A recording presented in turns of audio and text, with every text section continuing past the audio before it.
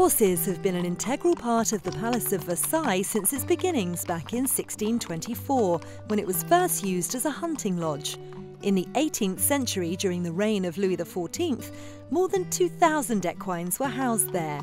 Next year, the palace will welcome dressage, eventing, and jumping royalty of the 21st century when it plays host to the equestrian events for the 2024 Olympic Games. But today, the Great Stables are home to the National Equestrian Academy of Versailles, where riders and horses train and put on weekly performances for the enjoyment of the general public.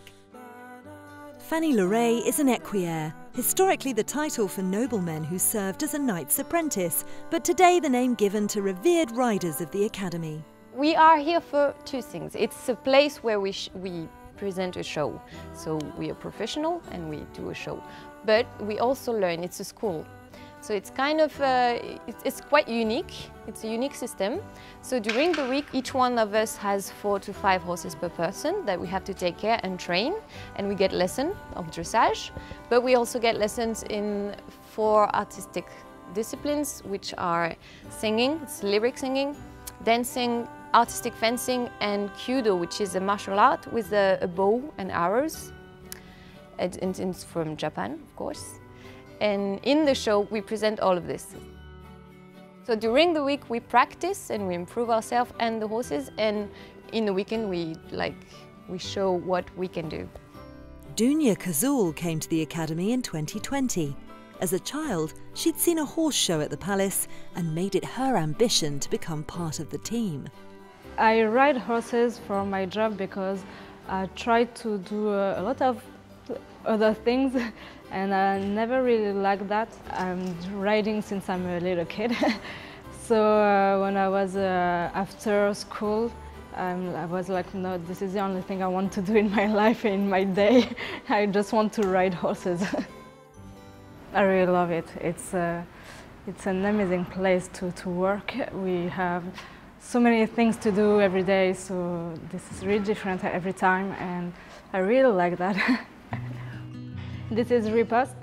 Uh, he arrived here uh, one year ago and I like him because he's, he was real nervous when he arrived. He had too much energy so we had to uh, keep all that energy to, to do the show in the arena. And uh, so this is my fencing horse and I put him in the show uh, first. So here we have Lusitanos mostly. They are from Portugal. It's the breed that was used in history basically for the war or for working with cattle because they're very easy to handle, to turn very quickly and then go fast and then stop. So that was really, really useful for the war and for the cattle. And because of these abilities, the king, for example, that lived here, and other kings of Europe, they like this breed to show off because they have a beautiful mane and they kind of enjoy being beautiful and being watched.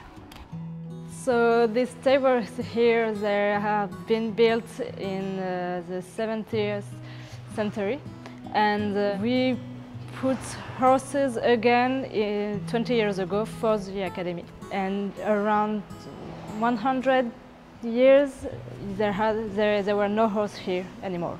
So this was a new beginning for the stables uh, when we started the academy.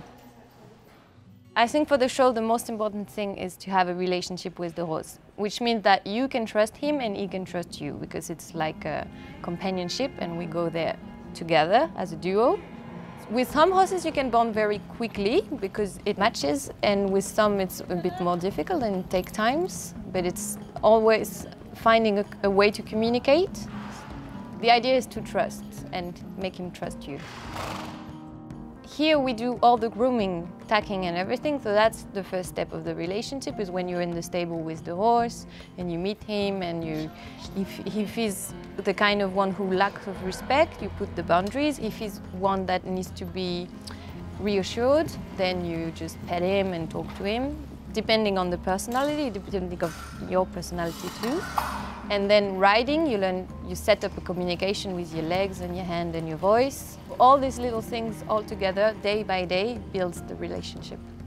I love this job. It's, it's, you have to be passionate, so if you're passionate, you enjoy it, because it's a lot of work, but it's very, it's fulfilling. It's, it, it has a lot of meaning.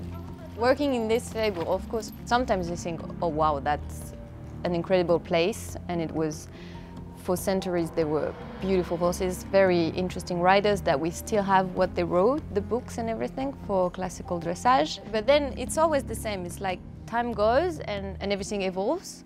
So the dressage we're doing now has its roots in the dressage that they were doing in the 17th century, but it has evolved.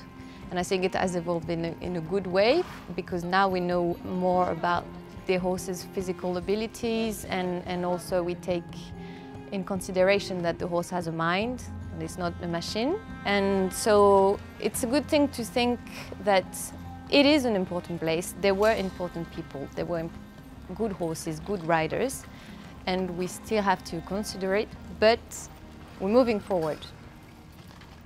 We're proud of that the Palace are going to uh, host the Olympic Games next year.